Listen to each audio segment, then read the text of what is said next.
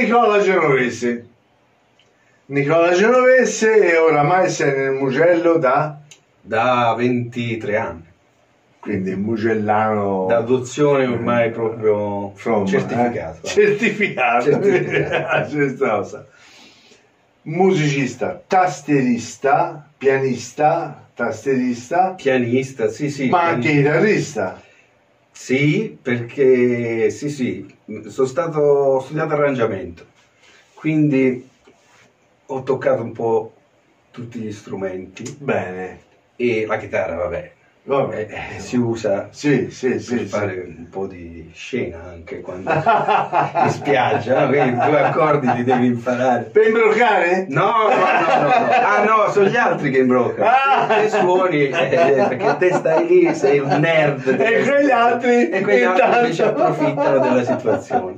Eh, non è mai il chitarrista. È vero, è vero. Almeno questo tipo di chitarrista. Eh. quando arrivi sul palco con la chitarra Ah, ok, dopo, dopo magari cucchi, ok. E quindi tutto questo, quindi immagino degli studi regolari, quindi parlaci un po' di come è arrivata sta scintilla, l'amore per la musica. Eh, È un mistero perché parte da lontano, cioè io quando, proprio da bambino, avevo questa mania degli strumenti, cioè non volevo giocattoli, volevo strumenti, la fisarmonichina, il saxofonino, tut- veramente tutte queste cose, ed ero, impazzivo per i suoni di questa cosa qui e me la sono portata dietro ok. e io nasco batterista. Ah, ecco, questo non lo sapevo. Nasco batterista perché ah, ero partito come tutti i bambini della batteria. Mi regalarono, mio padre era operaio, quindi a- a- alla Befana davano i regali, la fabbrica, queste cose ai bambini. E mio padre, sapendo della passione della, della musica, arrivò alla batteria, una batteria di latta, cassa, pedalino, tom e un piattino. Ok. Io contentissimo, Eh, tutte immagino. le notine colorate. Dopo due giorni, prima me la messero in una stanza, Ah, poi cominciai a suonare. Poi disse no, devi suonare prima solo uno, uno e uno. uno. Ah. E io dicevo, ma come? uno? Facevo un casino del Eh. diavolo. Il secondo giorno me l'hanno tolta. Eh. Quindi a me è rimasta questa malattia della batteria. ma senti, Tant'è che poi a 14 anni cominciammo a suonare nei primi gruppetti e presi il mio primo ingaggio eh, da musicista facendo un matrimonio di un parente in Basilicata che rischiò. C'è il pericolo, erano 300 invitati. Se sbagliate qualcosa, ragazzi, fa a finire male. Andò tutto bene e presi questi soldini, diciamo così, Ok. per fare la prima gita in campeggio al mare Senti, con il senti. gruppo. E però con i primi soldi che guadagnai, siccome ero fatto prestare gli strumenti, perché non ce li avevamo dal gruppo più importante, Sì. quelli più grandi, costavano tanto allora gli strumenti, le tastiere. Io ero tastierista semplicemente perché avevo studiato un po' con l'organista della chiesa del paese, ok. però odiavo le tastiere. Ah, Le- proprio le detestavo. Infatti ero nel gruppetto, cominciavo a suonare la batteria, poi arrivava quello, suonava la chitarra, poi anche un po' il basso, poi alla fine quando arrivavano tutti mi metteva la tastiera Eh. per quella cosa lì. E comprai una batteria con quei soldi lì. Ah, Quindi il ecco. primo strumento che ho comprato non è stato una tastiera, è stata una Questa è batteria. batteria.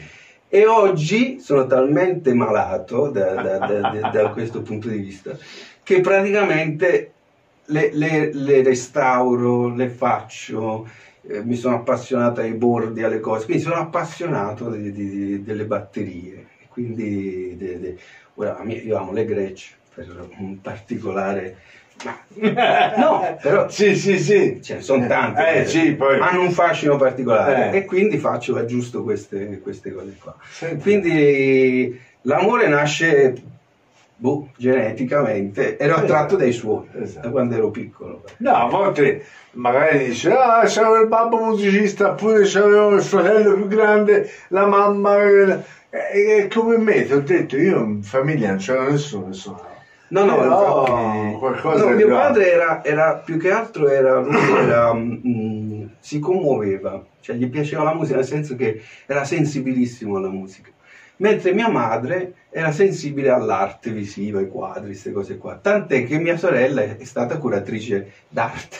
Cioè, io suonava l'armonica, nel senso così, Ok. come cosa, e, e si appassionava, per il suono della fisarmonica, no? che credo chiunque l'ascolti viene un colpo di emozione, no? è uno strumento che respira, Eh, certo. e lui proprio rimaneva incantato da questa cosa qua, anche io nel senso, però in maniera mo- più modesta, Ok. e lui aveva questa passione, quindi se vedere questa cosa, poi credo sia la sensibilità musicale ti viene fuori e ti piace, ti, ti- ti trasporta, ti- c'è questa cosa che è bellissima della musica che viaggia nell'aria, non si vede e ti tocca. E quindi eh, credo chiunque musicista la sensazione più bella è quella e anche da grande trovi la sensazione del gioco. Quindi quando si suona insieme e mi ricordo primi- i primi tempi che si cominciava a sentire la musica che andava bene, no? si andava tutti a tempo, sembrava una cosa che era successa così Eh, e, eh. e quell'emozione lì penso sia l'emozione del gioco che se la perdi finisce la musica. quando, e, quando poi diventa un, un mestiere molti si dimenticano di questa cosa, di cercare quella cosa lì, quella sensazione che non è Chiaro. che anche studio, quello che vuoi, cioè serve per poterti esprimere meglio, per poter essere più, non bravo, però per poter fare più cose come linguaggio, è come sapere più parole, studiare, Esatto. per poter parlare e avere un linguaggio più completo. Però fondamentalmente c'è il lato emozionale e il lato del gioco. Se perdi il gioco, la musica è finita, secondo me. E questo per tutti, poi c'è chi riesce a mantenerlo, chi purtroppo a volte non sempre, a volte succede che anche per dei periodi lunghi della vita non riesce ad avere quello stesso stimolo o altro. Però ecco, quella secondo me è l'anima della musica che uno ha dentro e, che, e poi la voglia di condivisione. La voglia di condivisione con gli altri in primis e poi la voglia di manifestarsi, ma non per, per essere, diciamo così, protagonista, per farsi vedere, proprio per comunicare. È come dire Certo. uno che parla, magari c'è gente Esatto. che non parla, ma con la musica riesce a darti talmente sì. tante sensazioni. E io oggi quando ascolto, non l'ascolto più come prima, che per studiare, per fare, ascolto più il lato emozionale, quindi mi preoccupo meno del genere, di quello che succede, quanto più di cosa cavolo mi vuol dire questo qua, dove vuole arrivare. E se mi tocca è piacevole, a volte mi dico, ah, guarda lì, forte sta cosa, mi, mi, mi, prendo, guarda che anche roba che sentivo tanti anni fa, che non mi avevano preso, ora guardo e ascolto quel tipo di sensazione sono sempre, ecco, forse questo vedi, è un'altra cosa della musica che ti fa vedere sempre cose nuove, anche ascoltando roba che avevi già Eh, ascoltato. esatto, sì, è sì, l- sì. l'universalità di questo linguaggio. Beh, se- certo, si cresce, si matura e di conseguenza ci sta di ascoltare cambia anche l'ascolto. un disco che hai già ascoltato 20 anni fa e, Eh, e oggi l'ascolto è diverso, vai a cercare dei particolari, delle cose, vai a sentire che non Che sentivi non sentivi, prima. sì. Esatto. Quindi va bene, questi sono gli inizi da bambino, ragazzino e, e poi come va avanti questa cosa? Ma io sono diventato praticamente quasi professionista mm, musicale a 20 anni perché eh, ci fu il, erano gli anni 90, sì 90, inizio degli anni 90, primi anni di università, studiavo all'università perché non era un mestiere la musica, per nessuno. Va bene. E mi va, quello è devi trovarti un lavoro. Certo, certo. quindi studia. Vabbè, studio, però fammi andare a studiare dove si fa musica. Quindi andai a Napoli. Ah, ok. E c'era il boom della musica etnica. E mi chiesero di suonare le tastiere, perché ero tastierista, alla fine ero diventato da nel gruppo rock, si faceva la musica di Zucchero, la musica di Pino Daniele, cioè nelle serate che facevamo d'estate così, ma non eravamo professionisti, suonavamo queste, le- le- la musica che andava in quel periodo lì, dei cantautori, del pop, eccetera, eccetera. E ci fu questo boom, viene a suonare le, le tastiere in un gruppo di musica popolare. Se la musica le tastiere, la musica popolare, più la fisarmonica, ma io non sono un fisarmonicista, no, io non, mi rifiuto. Piuttosto preferisco suonare le percussioni. Ah, C'era il batterista, però le voglio studiare un po'. E quindi cominciai un po' a studiare, non sono un grande professionista della percussione, a me mi chiamavano il cuoco.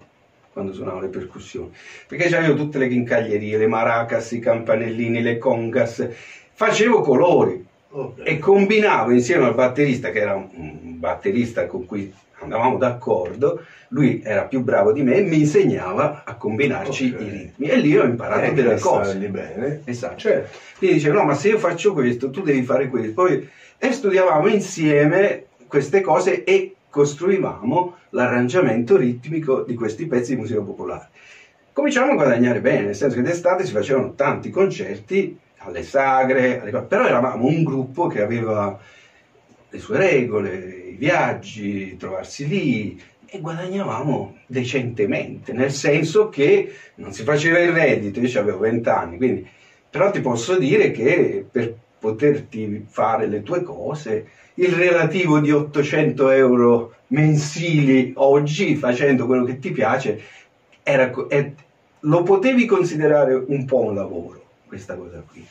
Questa cosa è andata avanti, è andata avanti, è andata avanti fino a quando poi hanno cominciato a chiamarti io fino a 30 anni cioè, mi sono laureato, ho fatto delle cose, ho cominciato a lavorare con la musica. Poi ho studiato arrangiamento, poi ho studiato jazz, poi mi chiamavano come pianista, come quello, come quella ho fatto sempre un po' tante cose, alla fine infatti non ho imparato a suonare bene uno strumento, ma ho imparato a stare bene in tante situazioni e non mi sono mai tirato indietro nell'affrontare le collaborazioni. E questa è stata forse la cosa che mi ha arricchito di più, eh. perché eh, avevo voglia di fare cose mie e le ho fatte però diciamo questa cosa mi è rimasta sempre mm. e ho sempre voluto condividere, aiutare, dare, chiede, a volte mi hanno chiamato per fare gli arrangiamenti, dice ragazzi io non sono un arrangiatore, posso, fare, posso scrivere delle parti per i fiati perché sapevo fare delle cose, però non, non ho il carisma del direttore d'orchestra, cioè non mi va di dire fai quello, no, così, cos'ha. Io combiniamoci insieme, però ero bravo ad arrangiare gli strumenti, ero bravo a infilarmi nelle parti senza essere invadente e ad uscire quando bisognava uscire. Cioè, ho imparato facendo l'arrangiatore a stare insieme agli altri senza, avere, eh, senza dominare, cioè avendo cura di rispettare il linguaggio musicale, quindi rispettare gli altri musicisti quando dovevano emergere. Questa ecco, è forse la cosa che mi è piaciuta di più nello studiare arrangiamento e non strumento per essere protagonista. Poi alla fine non sono mai diventato un protagonista dello strumento, okay. forse neanche un, un, protagonista per carattere del, um, dell'essere personaggio. Okay. Perché ho sempre messo in primo piano l'entità musica nel suo insieme e ho sempre scelto musicisti per i miei progetti con cui stavo bene insieme e che mi piaceva come suonavano e per far emergere loro e okay. insieme a me nella mia musica. Poi alla fine certo. ero io e infatti sono son contento, ero contento di ascoltare quello che dalla mia testa avevo, con la mia testa avevo partorito in mano a delle persone ave, di cui avevo stima e che mi piaceva ascoltare, certo. quindi ero il primo a divertirsi eh, certo. ascoltando la mia musica, magari a volte anche stato fermo e ascoltandomi solamente loro suonavano perché bello, però molto bello sì, sì, per, il eh, primo disco per esempio eh. è stato così perché nel 2001 io decisi di fare, cominciavo a fare delle cose, suonavo come musicista in un gruppo jazz, mi chiamavano eccetera e cominciavo a, a costruire parole, musica, queste cose qua e mi, mi, ero contento di quello che veniva. Feci questi dieci brani e avevano un piglio cantautorale sulla scia di Paolo Conte, di Capossela. All'epoca andavano queste, questa musica acustica suonata, un po' jazz, un po' latino, un po' boss, eccetera, con questi suoni qua.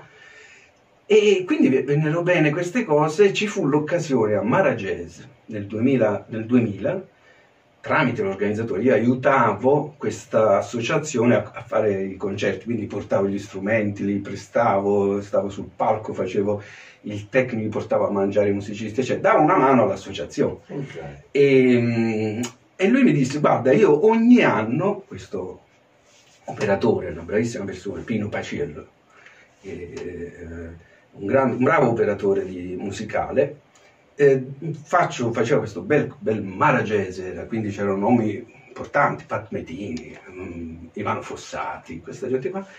Dissi io una serata all'anno ci vado a perdere, ma voglio che suoni qualcuno del luogo. Io ero in Basilicata, è importante perché per far crescere, diceva, la musica del luogo è bene che si crei un curriculum, quindi far suonare in un tabellone, addirittura ci vado a perdere con voi, cioè ci avrete 15, 20 persone, 30, 40, gli amici e i parenti quando Chiaro, vengono, chiaro. però essere in tabellone su questa cosa ti porta a- a- ad avere un po' di curriculum.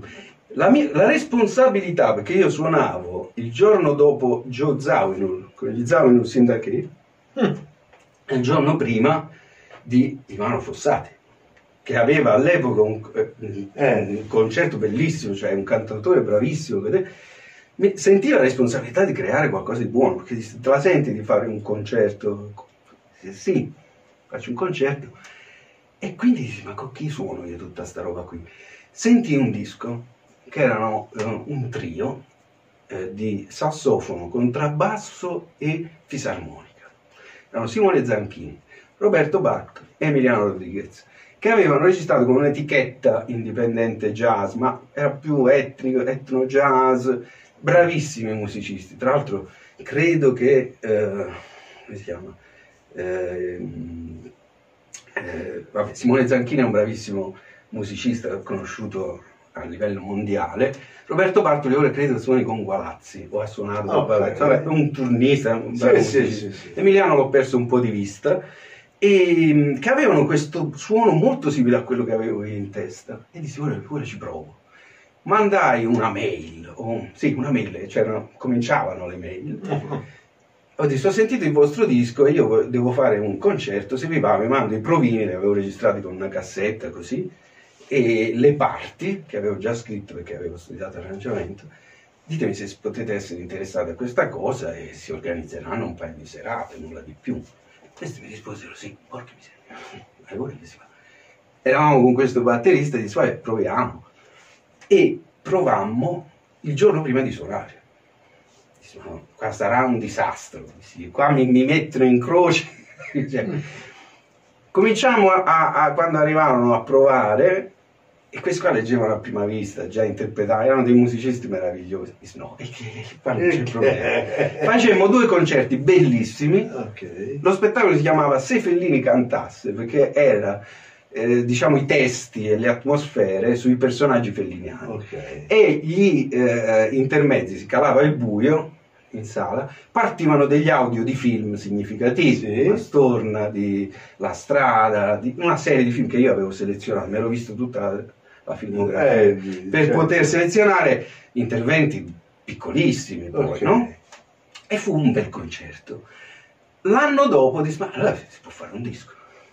Entrammo in sala e trovammo, eh, tramite Roberto Bartoli, questo fonico di Umbria Jazz, che aveva fatto Sting, Gil Evans, questi personaggi qua. Una persona squisita, che di, di mestiere normalmente faceva il corniciaio a Bologna, e aveva questo studio, che non era uno studio, era un ritrovo di amici in una cantina, quello dico a me piace il tuo studio perché è di pietra, perché mi ricorda, quello era di mattoni, tutto con le volte, e aveva un suono particolare.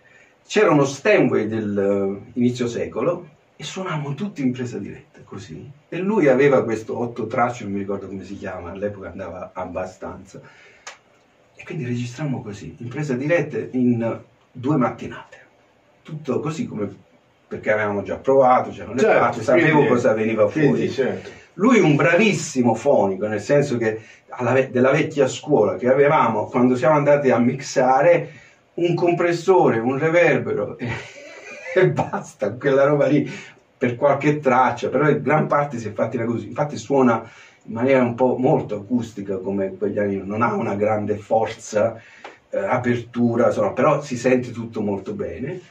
E facemmo questo disco che andò anche bene, cioè, all'epoca era il 2001, io feci il disco sì nel 2001, quando venni qui tra l'altro, si registrò a Bologna, fece un bel po' di concerti molto in teatro con questo gruppo meraviglioso e poi niente, finì lì.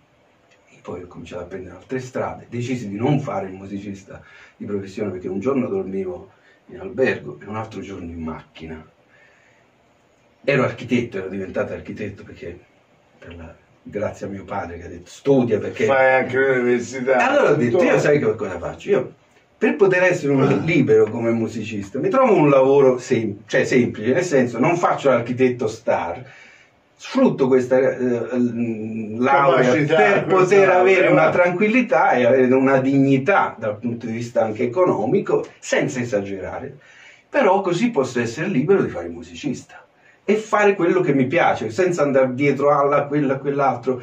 E poi vediamo che succede. Se, do- se de- de- devo diventare famoso, diventerò famoso, ma se no sto tranquillo anche così.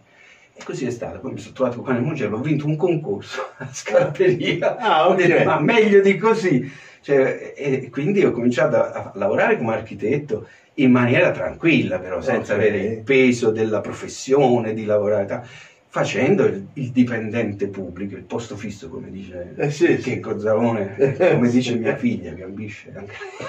Ecco, ecco, ecco. No, scherzo, non è vero. Gli dico non, non farlo, però è di poter fare il musicista eh, con la libertà di, di- di- di- decidere cosa fare, come fare, e non perdere il senso del gioco. Quindi non avere la pressione di Chiaro. produrre, di fare, di guadagnare cose, di avere la serata per forza, ecco, di non perdere questa cosa qua. Però dall'altro lato è stato difficile perché chi ha la, eh, fa solo il musicista, io rispetto tanto chi fa il musicista perché è una faticaccia immane, è tenuto sempre a- a stare dietro la musica, dietro l'esercizio, perché se, se cominci a perdere l'allenamento, eccetera, quindi quello ti stimola a far di più. Dall'altra parte però a volte è anche uno stress e ansia, quindi io ho scelto quella strada lì perché sono un po' più pigro, sono meridionale, tranquillo, fare le cose. Tant'è che quando mi sono assestato, infatti ci siamo conosciuti in quel periodo Eh sì, e abbiamo esatto. anche suonato insieme. Esatto. eh. E ho cominciato a conoscere appunto le prime persone che conobbi furono Dario Cecchini, eh, Bibi, i ragazzi della Fancoff, Alessandro Sugge, cioè tutti i musicisti, perché poi la cosa bella di questo linguaggio è che sparisce eh, l'identità culturale di base, quella che hai tu, il background. Quando ti trovi bene con un musicista, non ha importanza da dove viene, non te ne frega nulla. Africa, Spagna, Irlanda, cioè non te ne frega niente. Se stai bene, c'è la musica, ti trovi bene, è un attimo e tu parli un linguaggio comune, anche senza dire una parola. Certo. E questa cosa qua qui l'ho trovata perché, per esempio, dissi: Ma chi è che suona? Dario Cecchini. E allora andai da Dario e dissi: Ma Dario, ma chi è che suona la batteria? Chi è che suona quello, quell'altro? Da chi mi può indicare? Cioè, cominciai a formare i primi gruppi con questi ragazzi e cominciarono a chiamarmi e poi Certo. a lavorare. Ho lavorato anche con Guanto, con Sì. eh, chiunque. Allora, eh, quindi siamo nel Mugello e tu hai cominciato a conoscere e a collaborare con tanti musicisti del Mugello. Mm, hai fatto poi altri dischi tuoi, ma hai eh, collaborato per la produzione anche di dischi di altri. Sì, Mi viene in mente Alfredo Sì, allora io feci nel 2013 Malvestito che è quello lì che poi secondo me è la sintesi di quello che mi piace di più di, di tutti e tre i dischi che ho fatto. Io ne ho fatti tre, il primo era del 2001, era Strano Posto, poi c'è stato Malvestito tutto nel Mugello, Ok. eh, con musicisti del luogo, tranne qualche eh, incursione extracontinentale, Ok. E però fondamentalmente col trio di base che era con Leonardo Baggiani e con Alessandro Suggelli e poi si inserivano una serie di altri musicisti. Ehm, e poi l'ultimo, quello lì è stato Quattro battute fuori che è del 2017 credo con un gruppo di mm, un mio carissimo amico di Torino che però era di origine di giù con cui suonavamo quando avevamo 14 anni infatti non so se avrò la forza di fare un altro disco ho detto Ok. quindi ho detto o lo facciamo ora o non lo facciamo più. Lui ora è un professionista, suona con tanti musicisti e quindi ho approfittato di questa cosa. eh, c'era la mia compagna Cristina che tra l'altro mi ha aiutato tantissimo sia nei testi che nelle musiche perché è una bravissima autrice e anche una brava musicista nel eh, fare sia nel, nel secondo disco che nel terzo e il suo, il suo babbo, dico babbo anche se io questa parola? Babbo. Eh, non si dice papà. Quasi, lo so. Il suo babbo Ma c'ha, ormai se- c'ha questa... dal 2001 va. Eh, sì, no, io ho obiettato ai miei figli di chiamarmi babbo perché noi Ah, ok. è, è- è- più, più Ero- borghese. eh, Ah, ok, ok, Capito? ok. È tutto il contrario di qua. Eh, sì, sì, sì. Insomma, eh, suo papà, suo babbo, Ok. c'è questa cascina, ci siamo chiusi in questa cascina per due o tre giorni siamo andati a registrare poi nello studio la mattina, abbiamo fatto le prove lì, vivevamo insieme, mangiavamo insieme, ci siamo divertiti un sacco e abbiamo fatto questo disco. Da lì, da lì poi, naturalmente, fatto questo, abbiamo presentato il disco, ma il vestito tutto nel Mugello e, e lì ho conosciuto anche Alfredo e con Alfredo ho eh, collaborato in due dischi suoi, sia come musicista nel- in conversatorio, che è stato uno, il secondo suo disco, e poi in un altro bel progetto a cui sono veramente molto legato, che era un suo libro, che lui ne ha fatti tanti, Alfredo è molto prolifico dal punto di vista musicale, e, che era un, un libro dove c'erano più dischi, quattro dischi, Ok, dove tra cui c'era anche un intervento di Irene Grandi. Ok. Però era que- tutti una serie di persone, tra cui c'era anche Bargoni, Sì. insomma, con lui ho lavorato abbastanza perché ci teneva in particolar modo, avevamo mm, un buon rapporto musicale e Umano. e, e umano e quindi questa cosa qui lui ce l'ha con tutti, sia con tutti i suoi musicisti. Noi ci siamo trovati in affinità e Mm. quindi abbiamo fatto due o tre dischi. In quel periodo lì, prima però, prima, forse prima di Malvestito, ho fatto anche, ho lavorato anche al disco di Guanto. Ok. Che prima di fare il disco con Guanto, come al solito siamo fatti le solite cose che piacciono a me, una cena, pranzo musicale, io avevo messo un microfono e dissi, ma perché aveva fatto il disco, eh, come si chiama? Eh, quel, um, Madonna, mi sfuggono i nomi. Dovrebbe essere lì, ce l'ho. No, Perché quanto, tra l'altro, Allora, l'ho lui, eh, ma c'era mm, Bruce Springsteen, ha fatto un disco in quel periodo lì, Ah, eh, dove prese tutte le sue canzoni bluegrass, eh, bellissimo disco, registrato in una, in una casa, Sì, sì, sì. sì, eh, sì. tutto acustico, completamente diverso dai soliti suoi dischi. A me piacque tantissimo. Dissi, quanto? Tu devi fare una cosa del genere. Allora mettemmo questo microfono e dopo aver mangiato allo steto a questa casa, facemmo questa performance che è rimasta segreta, eh, nel senso nessuno l'ascoltiamo Ok. solo noi. E subito dopo, da lì... Però da eh, quella è sì, nacque un po' il suono Eh, del- di tre quarti di vino e esatto. di tutto il resto. Quindi Esatto. e il falegname che registriamo solo pianoforte e voce, lui aveva questa, questa cosa qui, è molto bravo anche lui a, ad avere le idee chiare su cosa vuole chi, il- per chi vuole che, che lavori sulla sua musica, un po' il sentore come me, cioè del- dell'anima del musicista, e ho aiutato in quel disco lì, ho aiutato Alfredo e poi altre tante, ne ho, ne ho- fatte ma non me le ricordo. No, no. No, per dirti Tante. che quando, quando a volte stavo all'università e tornavo, eh, tornavo da mio padre, c'erano questi ragazzi che suonavano e c'erano dei musicisti che all'epoca suonavano con Mango, facevano i- le basi, Mango eh, viveva in Basilicata e c'era questo amico che spesso veniva a collaborare o a missare o a lavorare con i musicisti, c'era un, un gruppo di musicisti e lui mi chiamava con un synth, mi mandava le basi di elettronica. E diceva tu suona. E io suonavo un quarto d'ora, 5 minuti, 10 minuti, poi mi fermavo, ci chiacchieravamo, ma mi mandava un'altra base e io suonavo e lui mi registrava. E non so dove sono finite quelle cose, perché sicuramente lui le poi le rimaneggiava, cioè, Eh. non c'era nulla più del... Infatti diceva, ma le posso usare? Fa, sì sì, usale pure. Non lo so dove sono andate a finire, perché Ok. lì è stato, per esempio, ho capito che la musica può essere eh, di proprietà di nessuno.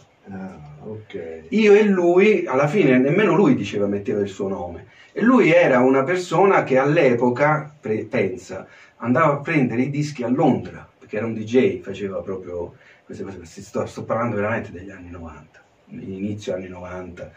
E Leonardo Corbo. Leonardo Corbo che, mm, e ora lavora per esempio nella musica elettronica, lui è appassionato di questo. Quindi sì, eh, lui- per esempio l'ultima collaborazione che ho fatto durante il lockdown Ecco. è stata con Renato Cantini. Renato Cantini è un trombettista, musicoterapista, professionista, quindi musicale, jazzista, eccetera, Sì, ma che fondamentalmente fa musica elettronica. E eh, io l'ho preso nell'ultimo disco per, per farmi mettere l'elettronica e la tromba, perché è un bravo trombettista e bravo a lavorare su certe atmosfere di cui eh, cioè io volevo contaminare certe cose, no? E nell'ultimo disco, che lui è bravissimo, eh, ha dei dischi bellissimi, anzi vi invito ad ascoltarvi i dischi di Renato Cantini, uno con Michele Staino che si chiama Hypnotize, il primo che mi ha affascinato, e poi anche gli altri che, loro, eh, che lui fa e anche eh, Michele fa. E, e questo qua mi ha chiamato e mi ha detto, Nico, cioè tu mi devi cantare come Bruno Martino. Io mi sono scoperto cantante tipo anni 60 con, questa, con questo brano e questo, questo disco. Ma ti sei scoperto cantante? Hai cominciato lì a cantare o già cantato? Allora, cantare cantavo, ma il mio modo di cantare non era proprio del canto, del Ok, bel canto. Lì, mi- ok. lì mi sono trovato a dovermi affrontare il canto con le note solo senza dover suonare. Che Ok. per me è una cosa difficile, no? Cioè, eh, io che, infatti invidio eh, eh, quelli che riescono a farlo e che- perché è un modo ulteriore di manifestarsi di- eh, oltre dici ah io canto scrivo e ti lancio delle cose ti parlo di me è una riflessione una meditazione che fai a consapevolezza di, di- di- di- di- di dire qualcosa quando ti manifesti senza uno strumento è ancora più faticoso Sei nudo. Sì, anche fisicamente Eh, sì, no? sì, sì, sì, e quindi questa cosa Certo. qua Favoloso. E quindi il futuro?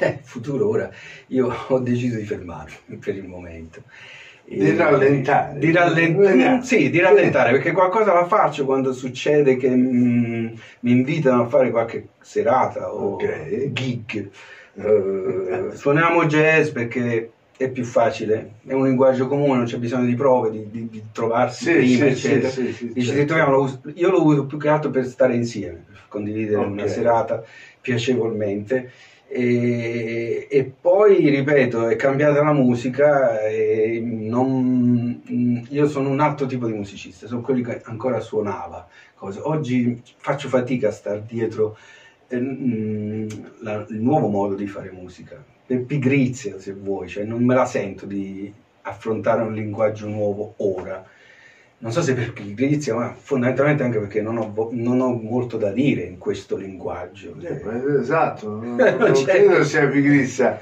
credo sia più un disinteresse verso questo linguaggio. mm, non, Non so. non- seguo nemmeno tanto la, la- la- la scena, cioè tranne alcune cose. Cioè, è un po' anche. è diverso, è diverso, è Ok. cambiato il modo di fruire della musica e io non ce l'ho, non, non ce mi interessa entrare dentro al momento su questa, questa cosa. Poi vediamo come si evolve. Secondo me, appunto, siamo in un momento di transizione, quindi io sono sempre ottimista. Sempre ottimista. Sempre ottimista. e su sempre ottimista eh, ci salutiamo. Arrivederci. Ciao, grazie.